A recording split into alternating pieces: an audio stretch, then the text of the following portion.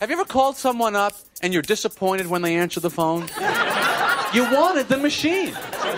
You know, and you're always kind of thrown off. You go, oh, I, uh, I, I didn't know you were there. I uh, just wanted to leave a message saying, sorry, I missed you. So here what we have is two people hate each other, don't really ever want to talk, but the phone machine is like this relationship respirator keeping these marginal brain dead relationships alive, and we all do it. Why? So that when we come home, you can see that little flashing red light. You go, all right, messages. You see?